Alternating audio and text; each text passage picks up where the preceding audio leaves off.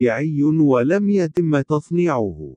أظهرت النتائج المنشورة أن فيروس كورونا الجديد سارس كوف 2 الذي ظهر في مدينة وهان بالصين العام الماضي وتسبب منذ ذلك الحين في انتشار وباء كوفيد-19 على نطاق واسع وانتشر إلى أكثر من 70 دولة أخرى هو نتاج التطور الطبيعي.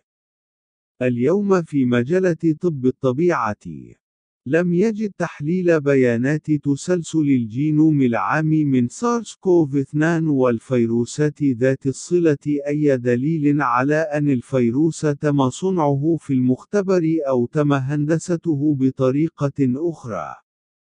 قال كريستيان أندرسون دكتوراه أستاذ مشارك في علم المناعة وعلم الأحياء الدقيقة في أبحاث سكريبس.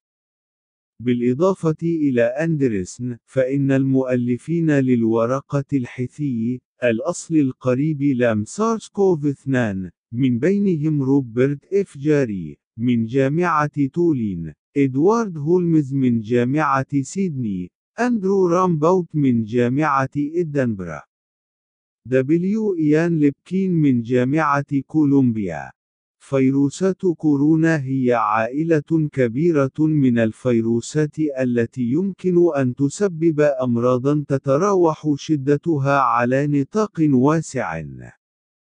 ظهر أول مرض خطير معروف ناجم عن فيروس كورونا مع وباء المتلازمة التنفسية الحادة الوخيمة السارس في الصين عام 2003.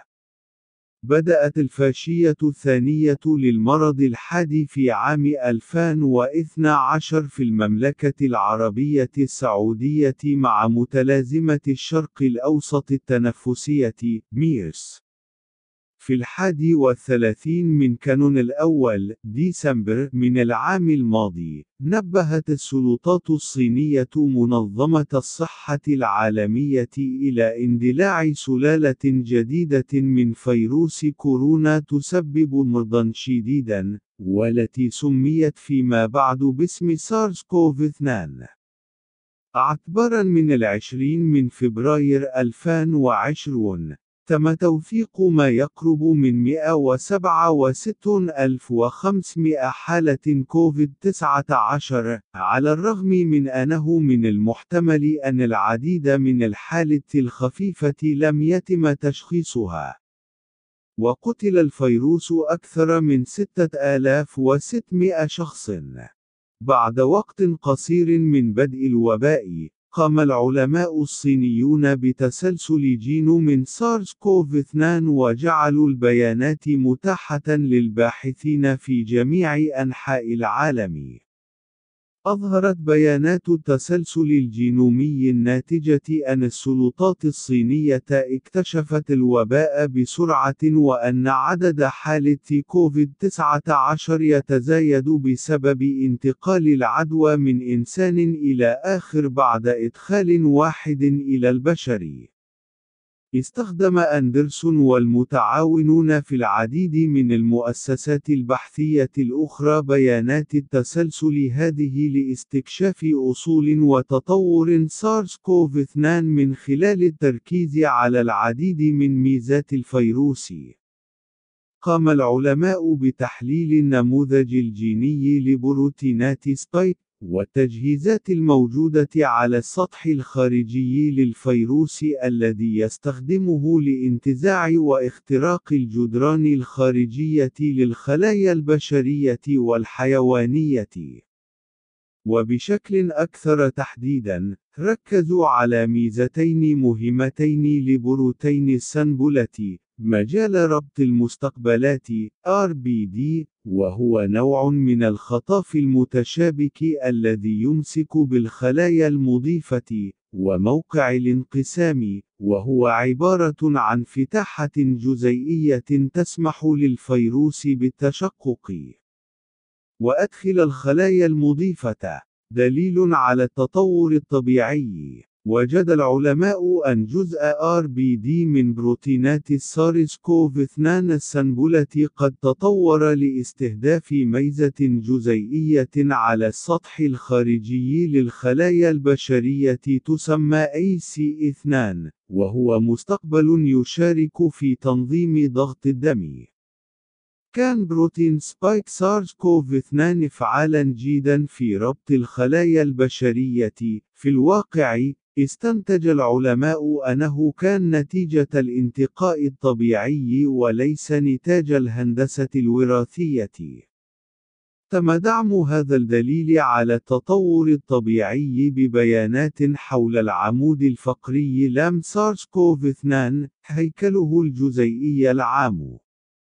إذا كان شخص ما يسعى إلى هندسة فيروس كورونا جديد كممرض، لكانوا قد صنعوه من العمود الفقري لفيروس معروف أنه يسبب المرض. لكن العلماء وجدوا أن العمود الفقري لام سارس كوف 2 يختلف اختلافا كبيرا عن تلك الموجودة في فيروسات كورونا المعروفة بالفعل ويشبه في الغالب الفيروسات ذات الصلة الموجودة في الخفافيش والبانجولين.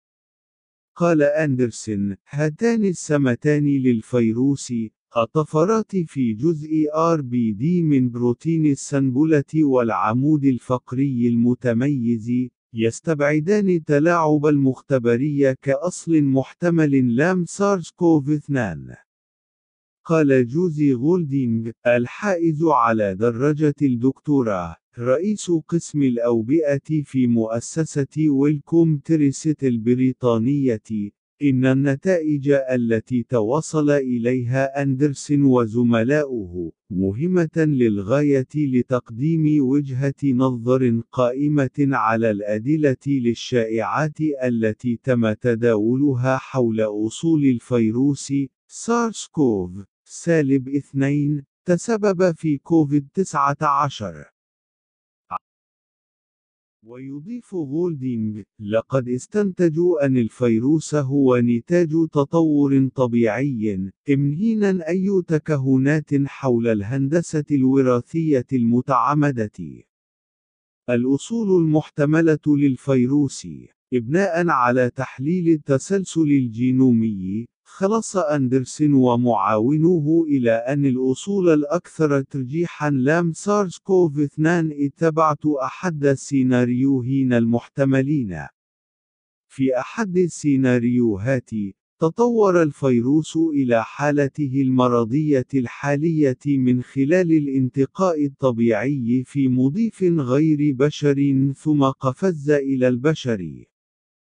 هذه هي الطريقة التي ظهرت بها حالة تفشي فيروس كورونا السابقة، حيث أصيب البشر بالفيروس بعد التعرض المباشر لحيوانات الزباد، سارس، والجمال، ميرس.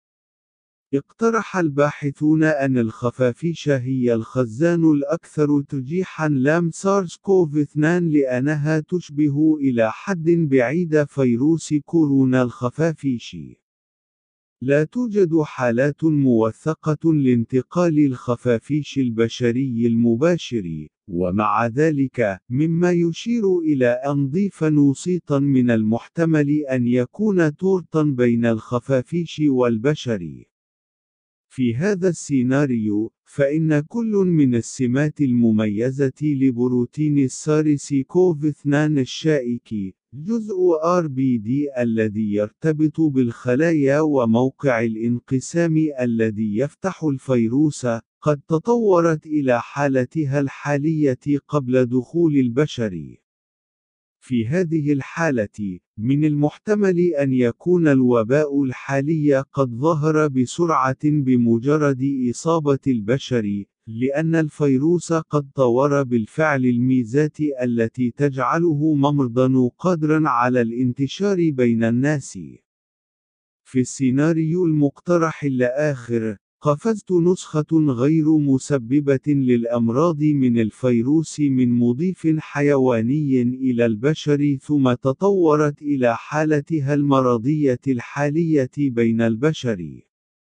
على سبيل المثال، بعض فيروسات كورونا من البنغول، وهي ثدييات شبيهة بالمدرع الموجودة في آسيا وأفريقيا، لها بنية RBD تشبه إلى حد بعيد بنية سارس كوف 2.